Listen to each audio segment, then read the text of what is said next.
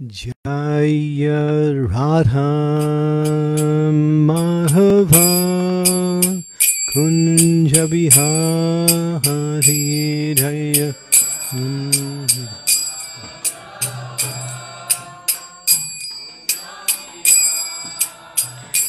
जय राधा माधवा कुञ्ज बिहारी जय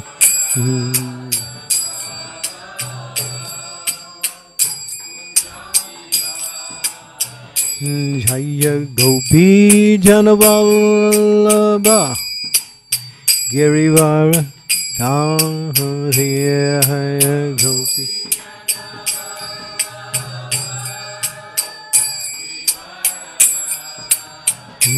Jai Gopi Janavallabha Girivara Jaya Gopi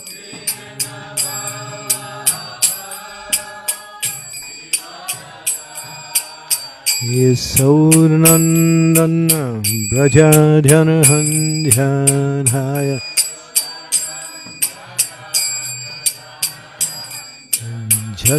झसौरनन्दन ब्रजधनहन्ध्यानाय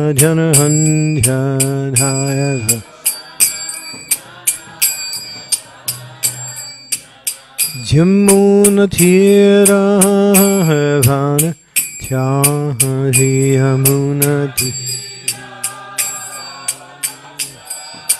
Chahri Yamuna Jamuna Thira Bhana Chahri Yamuna Thira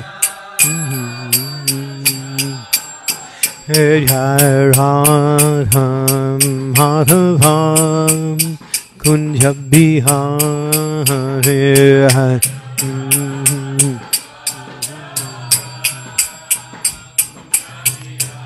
Jai Radha Madhavam Kunja Bihari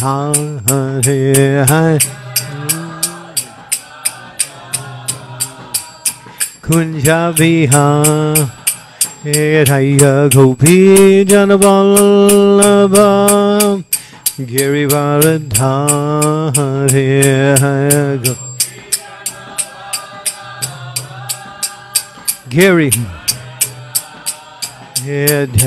Gopi Janavallabha Girivaradhari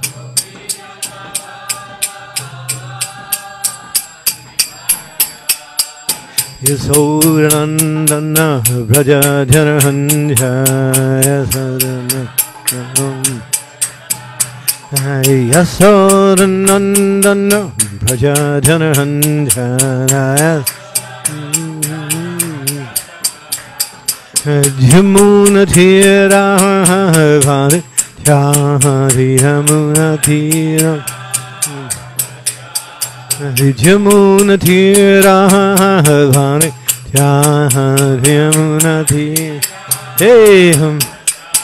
हरे जय राम माधुभा कुंज बिहारे जय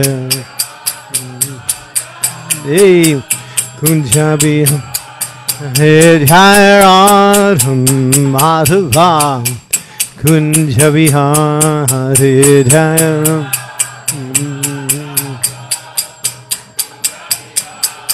हे जय पंच Jai Pancha Tattva Pancha Tattva Pancha Tattva Jai Pancha Tattva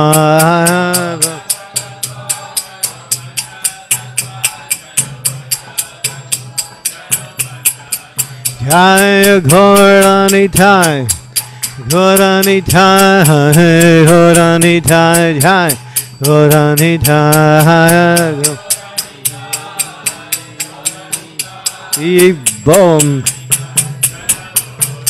Prabhupada Prabhupada Prabhupada Jaya Jaya Prabhupada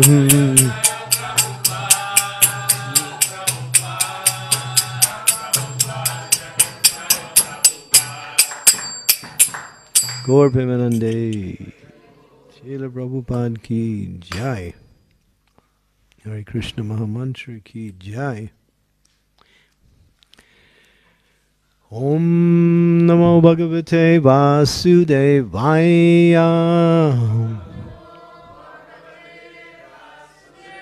Uh, Om Namo Bhagavate Vasudevaya.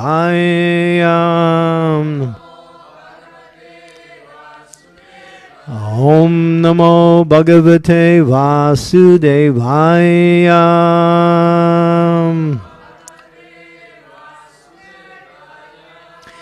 Srimad Bhagavatam, 8th canto, chapter 16, the Payo Vrata process of worship, text 24.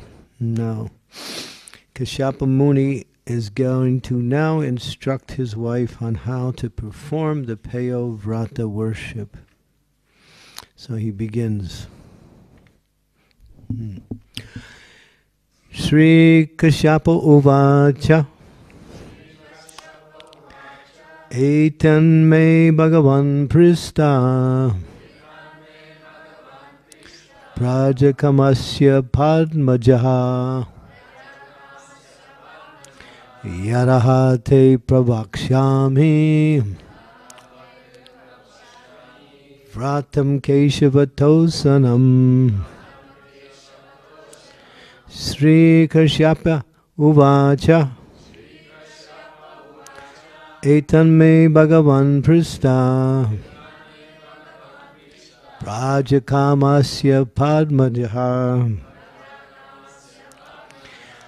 यराधे प्रवक्ष्यामि व्रातं केशवतोषणम् Chant. Yeah.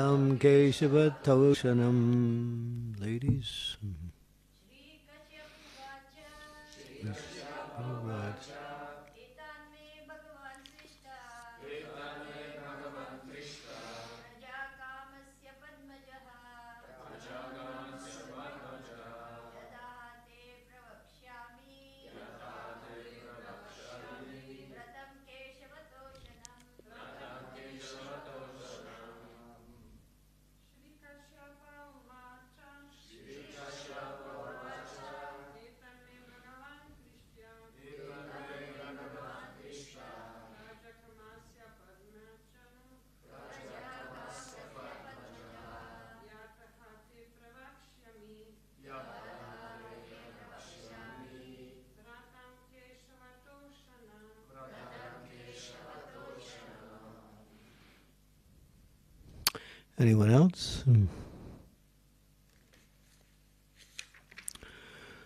Sri Kashyapa Uvacha.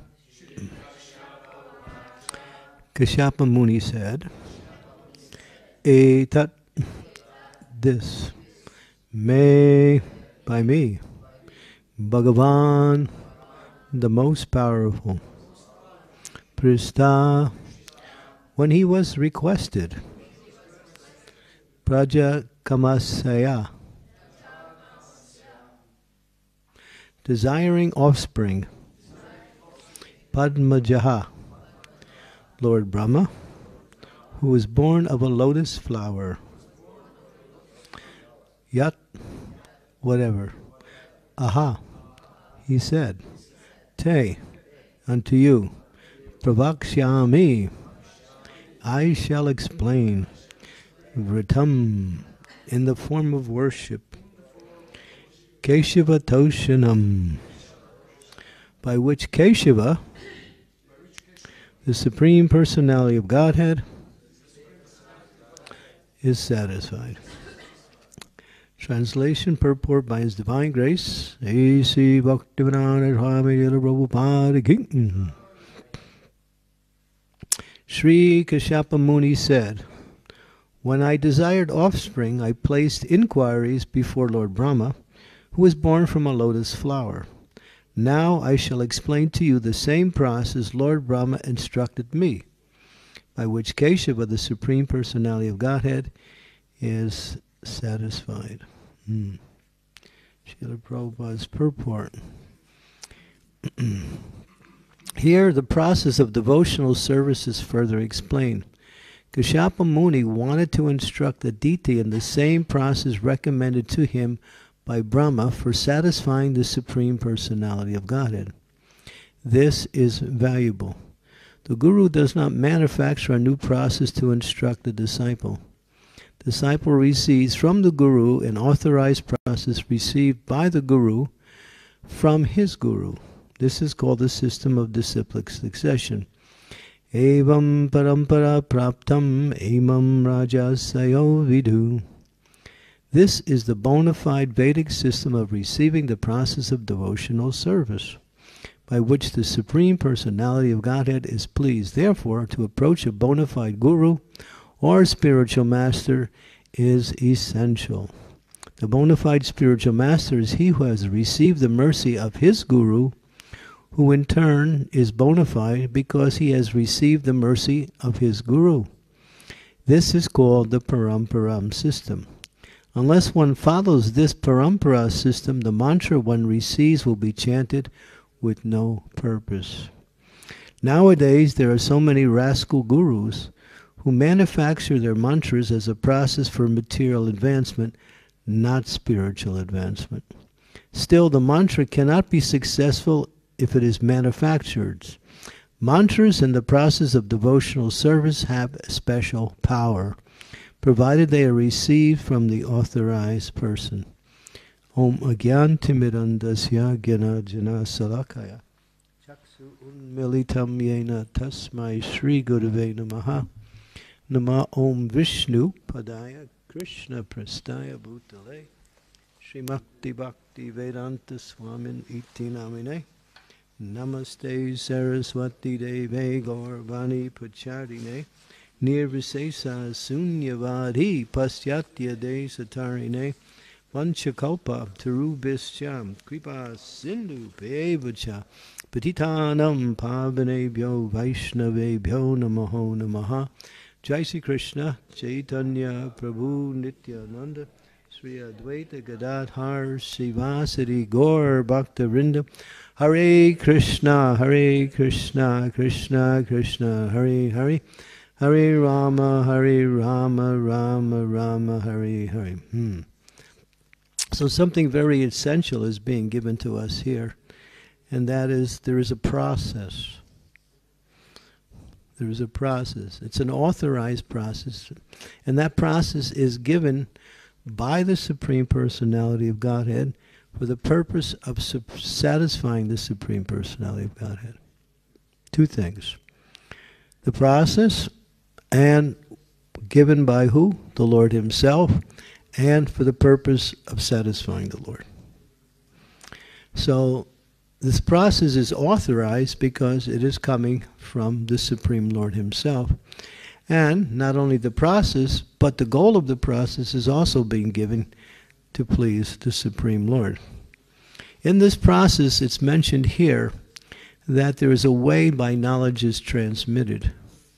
And that, that transmission is called the parampara system that system which has become authorized by the Lord. Avaram paramparam praktam Avam raja sayo vidu. Krishna says when the Parampara system is broken, he was speaking to Arjuna, I come to reestablish that.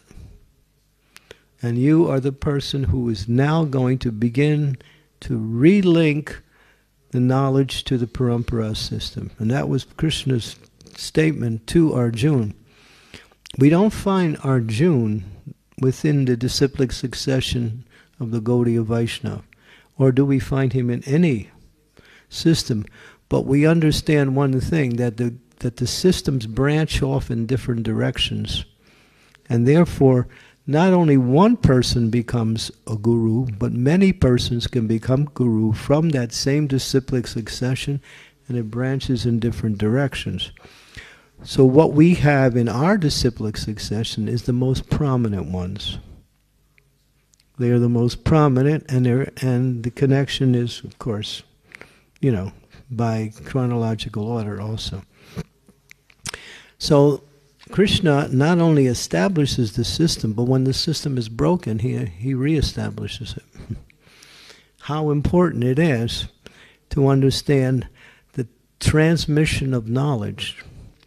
It comes from Krishna. In other words, no one can manufacture, as Prabhupada says, a way of devotional life or a way of spiritual advancement. It is already there. All one has to do is learn the system and learn how to follow the system. The system cannot be recreated in a different way according to what we say, people's idea. They may say, well, time has changed, circumstances have changed, therefore the, the system has changed, I'm presenting something new. What you can present as new is how to explain the same knowledge in a different way. So sometimes we use this little cliche old wine in new bottles. That's coming from Bhagavatam. It's the same substance, but the packaging is different. So this is what we have in today in modern society is that those who follow the disciplic succession carefully think of how to present that same knowledge that was presented to them according to time, place, and circumstance. Therefore, it's not changing, it's simply understanding the mentality of the time and presenting it in that particular way without changing the essence. And the essence is always the same is to worship the supreme personality of Godhead in devotion. Mm, that's that never changes like that we see, and it happens, it even happened in our ISKCON movement, people get ideas, even these advanced devotees, on how to make it better. Mm, I don't want to mention any names, but I was directly, and I say directly involved with such arrangements, where the idea was that the society is more Christian oriented it's not people don't know much about India or the Vedic culture or you know Vedic knowledge. So why not package it in a Christian package and slightly change it to give some Christian connotations and present the same knowledge like that. And that was done. It was done. It was tried. And at, per, at first, people thought, wow, that's a pretty good idea. And as, but as time went on, we saw that the value of what Prabhupada had given us was being minimized by the principles of another tradition were not, which were not pure devotional service, which were mixed devotional service, or more almost like karma kanda in, in that sense. So after some time, we found we saw the whole thing just collapsed because the authority wasn't there anymore soon as you break from the disciplic succession, I mean, just like a hand is very important because it serves the body in so many nice ways and it's necessary. But if the hand is cut off, although it looks like a hand, it can't do any of the work of a hand because it's not connected to the source anymore. So a person may come up with ideas, and this happens a lot. In fact, it's quite fashionable in Kali Yuga to create something new. And Srila Prabhupada very much um, cautioned us not to do this. And he made this a point in many of his talks and lectures. He said, you know, try to, even if you can't do anything more to, to, to spread Krishna consciousness, don't change what I've given you. don't change what I've given you. And uh, this is very important because not only is it gives it authority, but it it connects itself to the source. Without that authoritative connection, just like if you have a, just like an electrician, sometimes he he sees that the electrical socket is not working, so he knows he can see the wire is connected to the socket, but he can't see where the break is. He understands somewhere there's a break in the line, so he has to find that break. And once he finds it, he fixes the break, and then the electricity flows again from the source, from the powerhouse.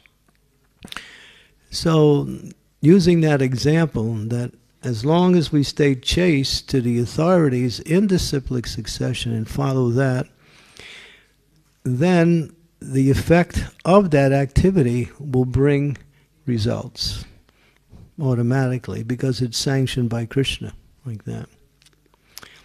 So here it mentions that a person who is in the disciplic succession, where is he getting his knowledge? He's getting it from his guru. Prabhupada used to say, I, ne- I people would give me so much credit for what I've done to spread Krishna consciousness. But what credit I haven't say is the only thing credit I can say is that I didn't change anything that was given to me by my spiritual master. I simply presented it uh, in such a way that is understandable. That's all. and that is that is chastity to the authority, and at the same time, and this is a very important point, because we find in Kali Yuga, people like to create new things all the time on all levels spiritually, materially. Uh, this is just the way it goes. You'll see there's people today just thinking how to create a new product so people will buy it. Hmm. Just like you'll find that every item that is available in the market has at least, I don't know, I, I can only guess, so many other items that are the same, but simply slightly packaged a little bit different, like that. Hmm. Um, one of one of my uh, dear godbrothers, he was going, he was doing some construction work, so he needed some tile glue, glue for putting the tiles on the floor. So he had to ran out, and so he went to the store to buy it and he's looking on the shelves and he sees tile glue, and there's 19 different brands there. So he's thinking, which one is the best, you know? So he goes to the shopkeeper and asks. And then the shopkeeper said, they're all the same. but if you want to know the one everyone buys, it's this one, and he showed him the can. On the can, there's a half naked girl on there. This is the one that sells the most. but the contents is the same. but nowadays, people not only change the outside, they change the inside. so just to make it somewhat better. Just like when. Uh, um, Vallabhacharya came to Sri Chaitanya Mahaprabhu and he said, I have written a commentary on Srimad Bhagavatam which surpasses Sridhar Swami's commentary. Hmm. He said that to, uh, and Lord Chaitanya immediately said, no, anyone who does not accept the Swami is a prostitute. and that's all he said. He didn't want to hear anything else. In other words, Sridhar Swami is the authority, he is considered to be the supreme authority on Srimad Bhagavatam. And all the other commentaries commentaries use his commentary as a basis for making their commentaries. But they don't say, well, uh, my commentary is better than Sridhar Swami's, or my commentary is more interesting or more relevant than his. No, they present theirs from a different angle of vision. But Vallabhacharya was saying, mine is better. we don't need Sridhar Swami's anymore. And, and Lord Chaitanya said, anyone who doesn't accept the Swami is a prostitute. Because another meaning for the word Swami means husband. That's another meaning for Swami is husband. So Lord Chaitanya used that example uh, to, you know, destroy the false pride of uh, Vallabhacharya. Of course, Vallabhacharya is a great personality, and he did write many things. But he was proud, and he, in his pride, he was thinking he was superior to others, like that. But you don't hear anyone in the Simply say, Succession saying, Well, I've done it better than my guru. That's what happened in New Vrindavan.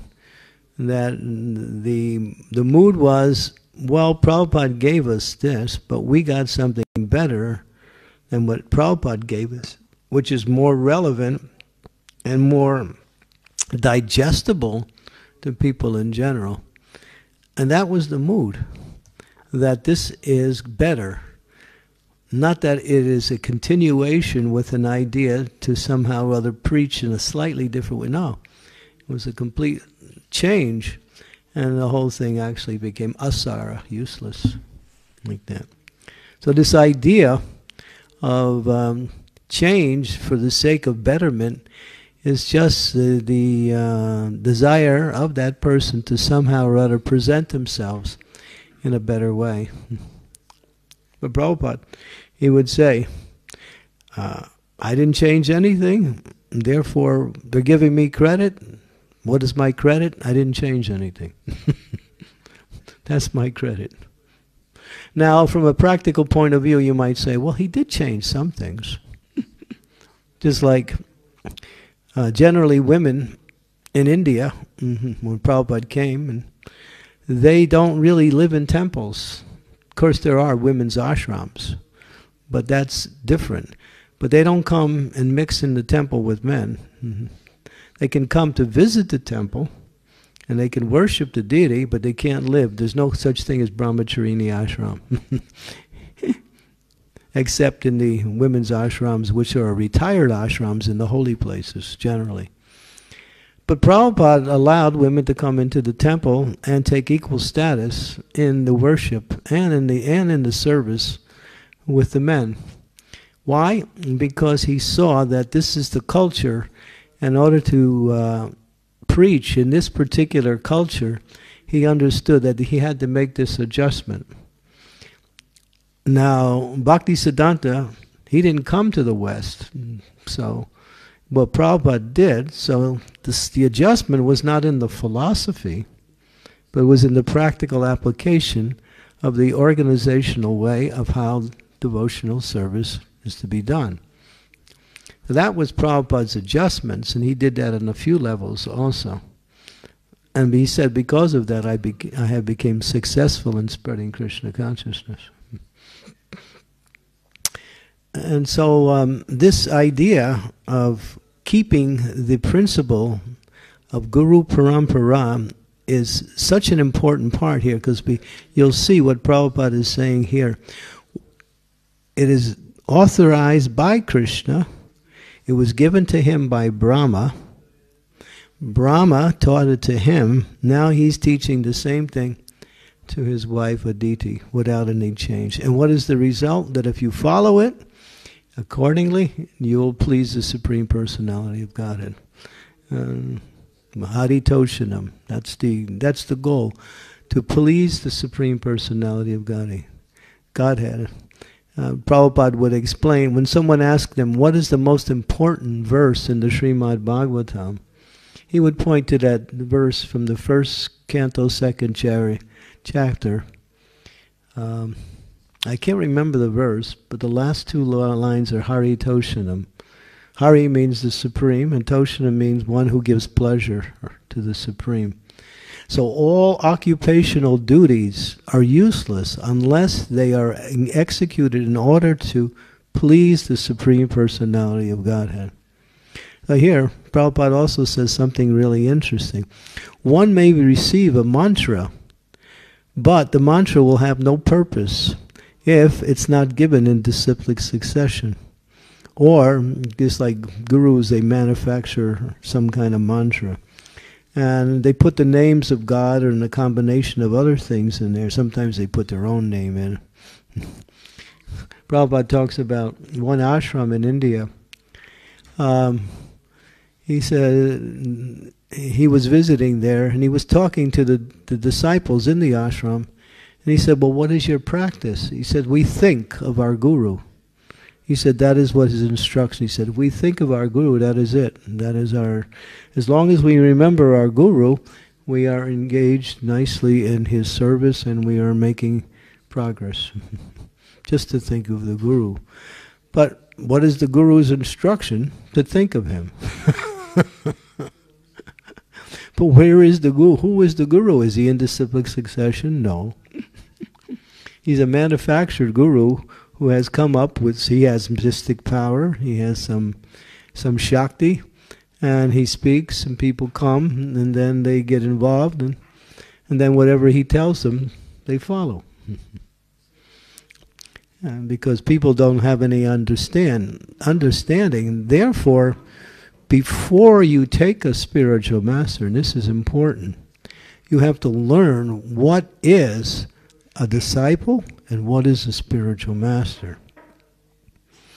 There's one particular book that was compiled. What it is, is a compilation of all of Prabhupada's statements, Jai Sisi Panchatattva. this book was a, a wonderful book. I used to make this book a required reading for all my disciples before initiation. It's called The Spiritual Master and the Disciple. And what it is, it's a compilation of all of Prabhupada's statements on Guru Tattva, put into categories within the, the larger category. And then uh, these are verses from the Bhagavatam, verses and from um, other scriptures also. and it's all about what is the duty of a disciple, what is the relationship between a disciple and a guru, what is the, relationship between the guru and the disciple? and that knowledge is fundamental because when you take a spiritual master, you should know what you're getting into. and not just, well, well, he's cool, he speaks nicely. he's a he's a guru kula, cool guru. Yeah, so there was one person that they gave that one guru. They gave him that name. They call him Guru Kula because he's a cool guru. You know? but they, you know, because he speaks nice, he dances nice, he's got this uh, whatever shakti, and uh, but that's not that's not the criteria. The, the criteria for accepting a spiritual master is: Can this per- will this person take me back to Godhead? Is he qualified to take me back to Godhead? And therefore, Nahari Bhakti Vilas, which was instituted by Sri Chaitanya Mahaprabhu, who told Sanatan Goswami, speak about what is a disciple and what is a guru, and also give an understanding of how to give that understanding. In other words, a time period. Therefore, when you first come, you don't get a spiritual master the first day. There is a time where after pra- practicing for some time, then you aspire. And then there's an aspiration period, which lasts from anywhere from six months to a year. It used to be six months when I joined in those days. Now it's from a year. And generally, you aspire for a year, and then you get to know the spiritual master. You ask him questions he watches you to see if you're actually coming up to the standard. And both the guru and the disciple are making a decision. Is this person my guru? Is this disciple my disciple? And then that, that evaluation period takes place. And then when it becomes clear, then then initiation take place. So really initiation is what consummates what's already been established. It's not like when you get initiation, that's the beginning of your relationship. No. Relationship starts with the aspiration. And then and then there's no question of changing later. And I've seen that. There was one I was directly involved in that one also. One very nice devotee, mm-hmm. she was a book distributor. She came up to me and said, You know, Maharaj, I want to change my spiritual master. I like this other spiritual master better. I want him to be my spirit. I said, Well, you can make him your Shiksha guru. She said, No, I want to, I want to get initiated by him. I said, You can't do that. You got a spiritual master. And not only you got one, he's one of the best. I mean, he's his his character and a history of his devotion in, in ISKCON is exemplary. She said, "Oh, well, no, I want this other one." I said, "You can't do that. It's offensive." She didn't listen. uh, I called her spiritual master. We talked on the phone. I tried to talk on the phone, but he didn't want to hear he was brokenhearted that his when he found out his spirit, his disciple, was going to another guru without even getting his permission, just doing it on her own. So after some time, she and she took initiation from this other spiritual master, who was also an ISKCON guru. Not long after that, he fell down. Why? Because he broke the principles. You can't reinitiate someone who's already initiated. and he was gone, and he's never come back since. And then she came running to me, Maharaj, what do I do? so there and there I am now. I have to solve this problem. So I thought, all right, there's your, your spiritual master is very merciful. She was embarrassed. I said, You run to him, fall at his feet, beg for his forgiveness, and ask him to accept you back. And she did it. And she and he, he did he immediately accepted her back. And then her devotional service really took off after that. She her, she became even more advanced after that. She made a big mistake, but somehow or other, by the Krishna's arrangement, she was able to correct the mistake. And then so here's an example of how that when one takes a spiritual master, it's a lifetime thing. We have Shiksha Guru also, and Shiksha Guru means that one can get relevant instructions from another person who is on the same level as one spiritual master. I've, you know, I've disciples have come up to me and asked me if I can take this person as a Shiksha Guru, and I say, I decide because unless that person is in the same mood as I am, although he may be in Krishna consciousness, I would say no. But when the mood is the same, then I'll say fine. Because gurus have their different moods and how they present Krishna consciousness. So we're trying to instruct and guide in a certain way. So that consideration was there. And so, um, but that is an authorized process. Shiksha Guru acts to support and to help that, that disciple to make advancement, especially in in uh, ISKCON society, where the spiritual master is not always present in with his disciples, and because the tradition is that usually in the Vedic tradition, the, the, disciples would always stay with the guru throughout life. So they were always there. But then we have a different phenomenon now. We have a worldwide society where the spiritual masters are in different places around the world, and the gurus, the disciples, are also in different places. So Shiksha Guru is an authorized process, so it's highly recommended in ISKCON. It's not mandatory, but it's helpful like that. It's helpful to have that. But if you don't feel you need it, you're getting everything from your spiritual master, and you're you're nice. It's it's fixed. It's, but this is the process. But back to the essential principle here that the gurus follow their guru who teaches the same thing without changing, and therefore the, the disciple is getting the same thing. Prabhupada would use the example of a mango. A mango is on a very high part of the tree. Now, if you shake the tree to get the mango down, you'll uh, the, the mango might bang onto the different branches, and then when it gets down, it might be a little damaged or even completely damaged.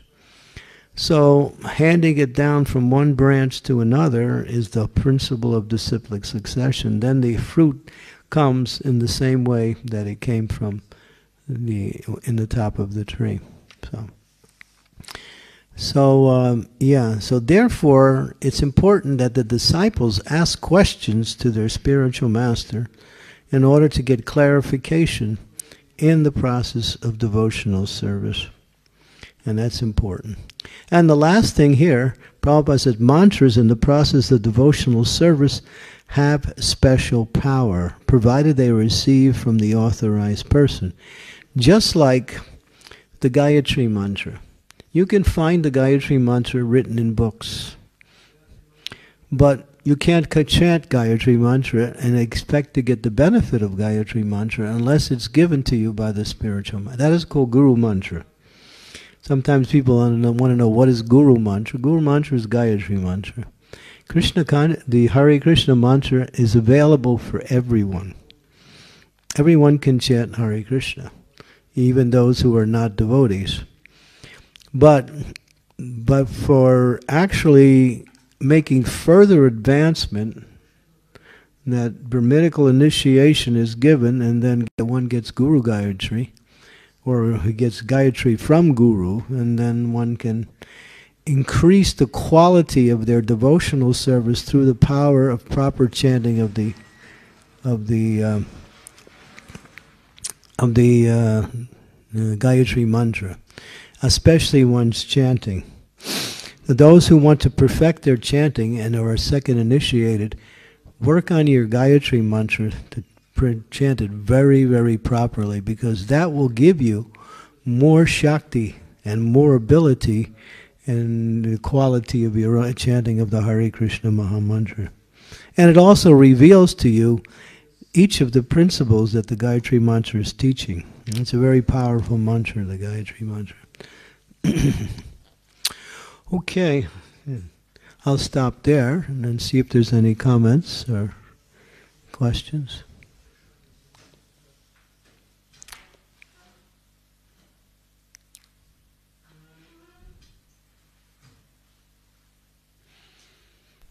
We got um, Marco. Yeah. Thank you, Maharaj. So, so do, do we actually have um, a, a diksha, diksha parampara? Because they say that we have shik, that shiksha is the one that, that comes to, to this. Uh, our parampara system is mostly shiksha. And how it works is that that personality who is prominent in transmitting the knowledge at that particular time becomes the next in the line of the parampara system. So, for instance, you have Gaura Kishore Das Babaji Maharaj, and uh, or you have Bhakti Vinod Thakur. It's a better example. Well, Bhakti Vinod Thakur's guru is not Jagannath Das Babaji Maharaj. It's uh, Hari Bilal, I think it is. Bipin Bihari. Bipin Bihari. Yeah, thank you. Bipin Bihari. So where is it? Do you hear much about Bipin Bihari? No. But Jagannath Das Babaji Maharaj was more prominent at the time. And also, Bhakti Vinod Thakur received Shiksha instructions from him. So, how that's decided, Hmm. That's a little bit of a question. how it comes about, we can't. But it's it always, as Prabhupada say, that person who was prominent at that time for transmitting the transcendental knowledge from disciple to guru, from guru to disciple, like that. So our line is mostly shiksha. There's a mixture of both, but mostly shiksha. But it says in the Chaitanya Charitamrita that shiksha and diksha are equal. They're two features of the Supreme Personality of Godhead. Both generally have the same, but one connects one to the succession and the other one helps one in their execution of devotional service. One is given relevant knowledge. Both are given relevant knowledge, but one is the one, the diksha is required just like there is a movement saying we don't need to get initiated, and just, we just have to follow Srila Prabhupada, that's all. Yeah, because if we follow Srila Prabhupada, then we're in the disciplic succession, that's all. But you have to get uh, someone connected to Srila Prabhupada in order to formalize your relationship with Srila Prabhupada in according to the this principle of disciplic succession. That's Otherwise, anybody can jump in there and say, I'm a spiritual master or a disciple without authority. Therefore, this initiation process is required. Hmm. Like that. Does that help? Yes, thank you, Maharaj. Yeah.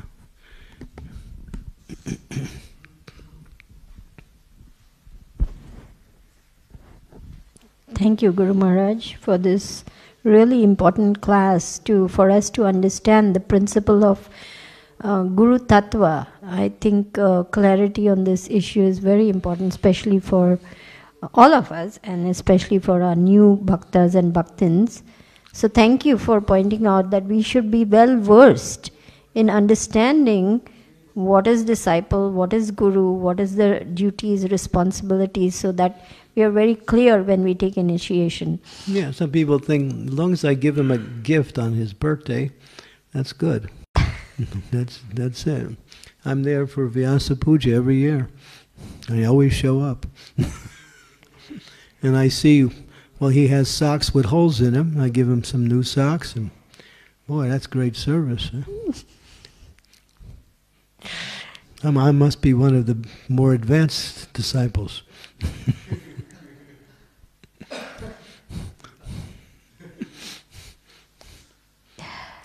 Yeah, people think if I can just give money or presents, that's that's guru seva. it's not.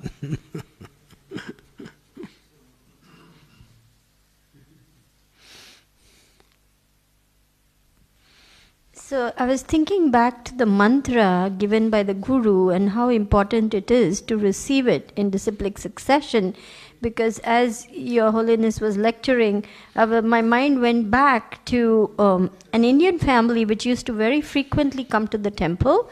Very nice people. They love to come, they love to take part in kirtan. And then, when uh, there was a home program, we visited them, they told us, We have received an Ishtadev mantra from our Guru. I said, What Ishtadev mantra? Said he asked us, who is your favorite god? And so we said, Krishna. Said, okay, I'll give you a mantra of Krishna. All you have to do is chant this mantra every day. And I said, anything else? They said, no, nothing else. We can just carry on. And I said, so that means every disciple gets their Ishtadev mantra? They said, yes. If you say you like Shiva, he will give you that mantra. You say Ganesh, he will give you that mantra. And any other restrictions, rules? No, just carry on. So I said, So what brings you to our Hare Krishna temple? Oh, we like the pure atmosphere, we like the peacefulness, and this way we have best of both worlds. So I said, Okay. yeah, you can stay in the material world. You'll have a lot of worlds to experience also. You'll be experiencing so many universes.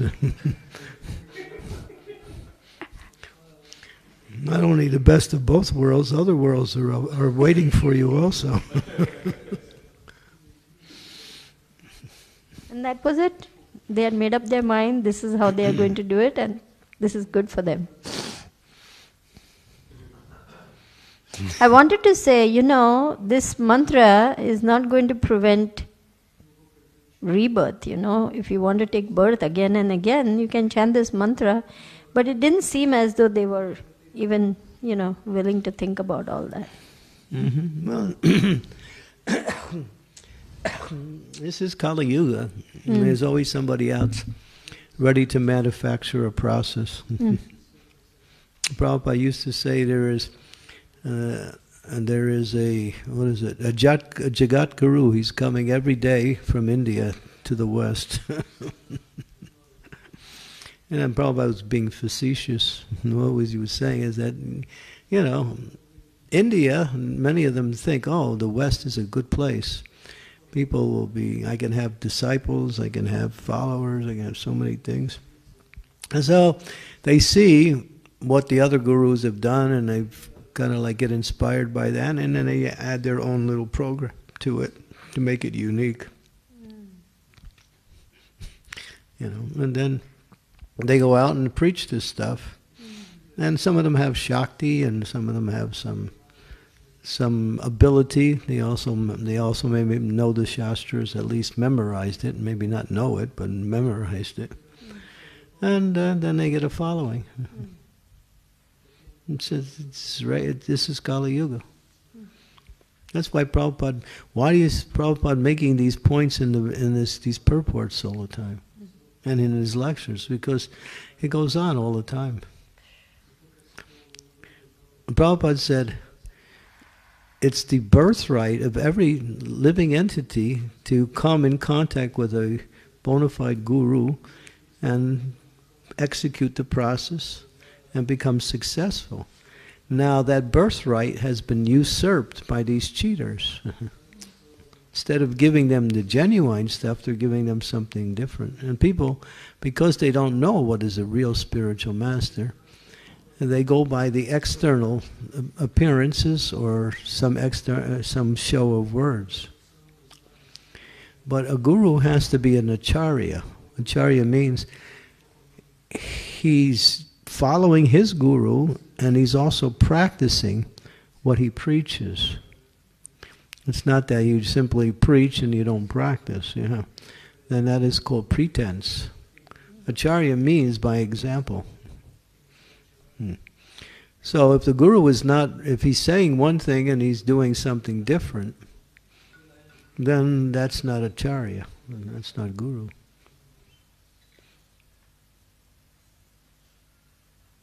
Hmm. And there's so many, so many today, so. You can probably find a few in Slovenia too. They're everywhere. Self styled gurus. Some of them, you know, they mix some material principles with spiritual ideas and they give you some moral instructions and you become more expert in being successful in the world. You know, you you know, you take your you they give you a little understanding of higher mental powers. So, and you can use these mental powers to be good, better at what you're doing materially. Mm. That's very, very fashionable nowadays. And I even see some of our some of our members in our society, they go to these people to get additional ideas on how to do things. When everything is given by Srila Prabhupada. Prabhupada covered everything. Bhakti Charu Maharaj, he made it a point very strongly to, to illustrate that Prabhupada has given us everything. And he explained it in very careful lectures, how everything is there in Prabhupada's books. You don't need to go anywhere else. It's all there. and those who follow Prabhupada, they must be transparent to Srila Prabhupada's teachings. Not that we, those who are followers of Srila Prabhupada are in a position of spiritual masters, have to create something new or something different. And that happens. There's been a few um, members in our society who went that went off in that direction, and they're no longer around anymore.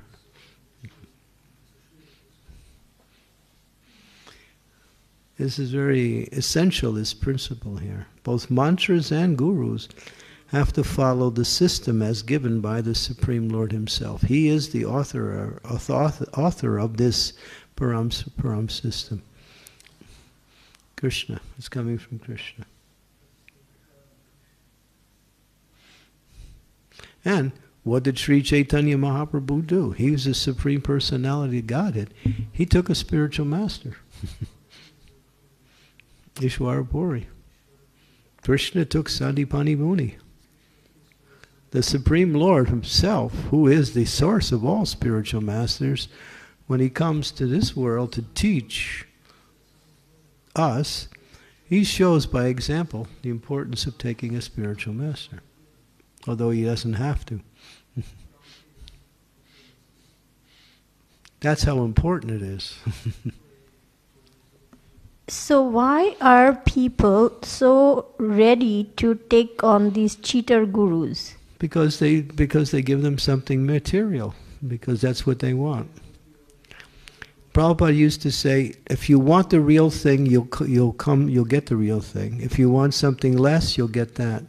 You get a spiritual master according to what you want. If you want to be materially happy and spiritually advanced at the same time, there'll be a guru who will give you something similar to that. No, there's all kinds of gurus. 108 varieties. Just like you, you go to the store and you, you see how many different kinds of shoes there are. there's, there's even more gurus than styles of shoes. So-called gurus. You have to be careful. That's why if we stay chaste to Srila Prabhupada and follow him carefully, then when we hear something from an outside, it's clear that it's either bona fide or not bona fide based on what Prabhupada has given us. And Prabhupada has proved he's a spiritual master. He's shown by his example and by his uh, ability to make other devotees pure devotees also. He's not only a pure devotee, but he's also created other pure devotees. That's the that that's the that's the evidence that Srila Prabhupada is a powerful spiritual master.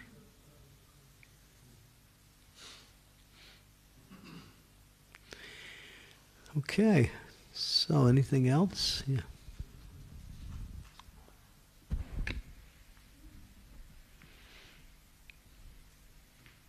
Oh, yeah, we have uh, Ananta Prabhu. Hare Krishna Maharaj, thank you uh, for this very pointing out, pointing out this very important topic about Guru Tattva. And you mentioned uh, quote, uh, mentioned a reference from Sri Chaitanya Charitamrita about Shiksha and Diksha Guru being non-different. It's the same Guru Tattva, right? And um, it seems that in uh, ISKCON this um, principle that uh, Shiksha Guru is this equal is not so much understood or applied. Yeah. It seems that the emphasis on the Diksha Guru is high, high, highly unbalanced according to the comparing to the to, to the Shiksha. Um, and sometimes then we have this situation that you know you mentioned already that we, we have devotees, disciples who you know just hear from Diksha Guru and they don't recognize or aware of Shiksha network devotees who can which usually are most prominent in their lives. Right. Right? You know, from the beginning only Shiksha network is cultivating uh, devotees from the very beginning, right? From the Right. preachers, from the you know senior, senior and peer de- uh, devotees, And we have this book of Shiva Maharaj, Shiksha Guru, and especially I will emphasize. Pavart Martin, what is that? Pavart, what is it called? The, the, the guru who can who you first First, yeah. first person you Vartma Pradarshaka, yeah. Yeah. That's also a guru, yeah. Yeah, right. So, uh, and also I will uh, emphasize the ISKCON disciple course, which uh, manifested because of this this unbalanced uh, situation and the, the need to that the devotees can understand Mm-hmm. uh, the Guru Tattva in a very balanced way. Uh, and uh, that I- is this topic is very much. I agree with you 100%. Shiva Ram Maharaj, many years ago, made a proposal to formalize Shiksha in our society. And he wrote a book on it called Shiksha Guru. He wanted to make it just as formal as the Diksha type of initiation. But it didn't, it didn't go. It was rejected. For I don't know, we don't even know the reasons why it was rejected. We could come up with some reasons, but um, yeah, that imbalance is there, and it's making our society weak. Hmm. Making our society weak. Hmm. Because Maharaj's point was if you hear from others and it's not done in a formalized way, then you can choose and not choose. But when you, you choose your Shiksha Guru, and it becomes formalized, just like you formalize your relationship with your Diksha Guru, then the instructions become just as important as the instructions of the Diksha Guru. But there's an additive principle where Shiksha Guru's instructions can never be contrary to Diksha Guru and has to be validated by Diksha Guru if there's some question that there is uh, some differences. Yeah, that has to be validated. Yeah. But yeah, you you you brought up a very essential point.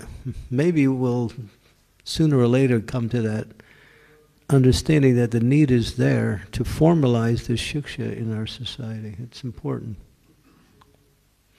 But now we just tell devotees if you get instructions and guidance from anyone outside of your spiritual master, other than the temple authorities, then you should um, you should take it seriously and follow it, and not simply just pick and choose according to what you like or what you don't like. See, that's where formalization will will not allow that to happen. You know.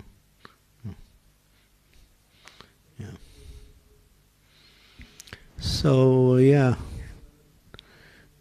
I I recommend disciples to find shiksha gurus because it helps me. because otherwise I have to worry about them all the time. and then it becomes hard. And just like we see now, devoted gurus who have thousands of disciples, they can't, can't take care of them, all of them. So we, we ask this, but the disciples to take responsibility and get get help in the local areas.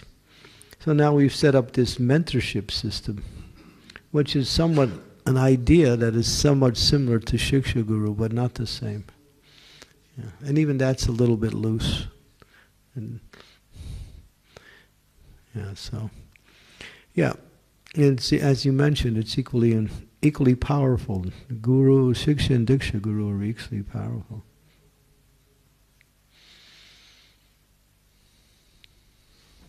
Thank you. Yeah. And that also gives a chance for those who are qualified to come up to that stage and be Shiksha Gurus. And then they, that'll be for their benefit also, to take on that responsibility.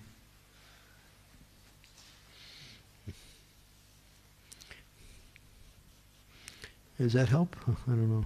Yes, thank I you. ju- I think Yeah, I was just it's a big topic. Yes, it's a big Topic. I was just repu- repeat, repeating what you said, uh, basically. Yeah. Mhm. Guru Maharaj, I have a question about, you know, Shiksha Guru. We would like that all our bhaktins, bhaktas, everybody takes on a mentor and works with the mentor, and um, that way they help the Guru ultimately from whom they're taking shelter. But what is the uh, agreement between the bhaktin and the mentor in terms of following the instructions because if I'm a bhaktin and I say, Well, I don't like this instruction, you're not my guru, you're just my mentor, then the whole thing gets diluted, isn't it? Well, why take on a mentor if you're not going to follow it? Right. it's, it's kind of hypocritical. Hmm. The purpose of having that relationship is to follow. Okay. You can question the Mhm. instructions or the guidance, Hmm. but you can't reject it. Hmm. You can question it for clarification or for adjustment, but you can't reject it. Right, right. Okay. Thank you. hmm Okay, thank you very much. Srimad Bhagavatam ki jai, Srila Prabhupada ki jai.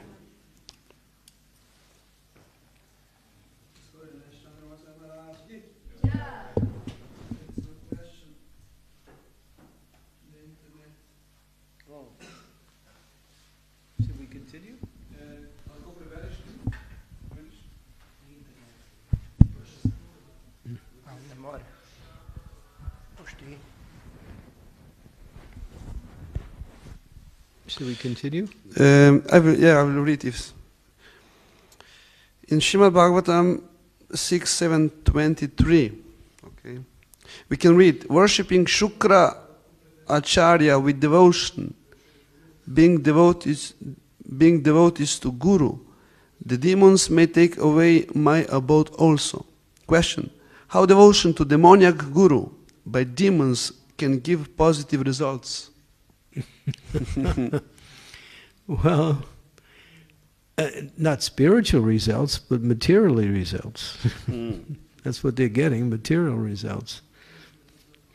He's a material guru. He has some Shakti. He's powerful. He performs austerity.